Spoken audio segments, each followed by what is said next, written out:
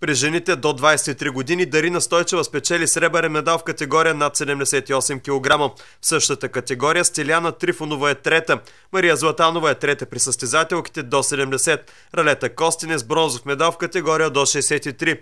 Иван Иванов, въпреки че е само на 16 години, успя да спечели бронзов медал при мъжете до 23 години в категория над 100 кг.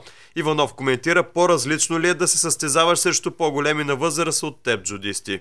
Притеснение нямах, обаче състезателите са по-натренирани от мене, по-големи на възраст явно това оказва влияние.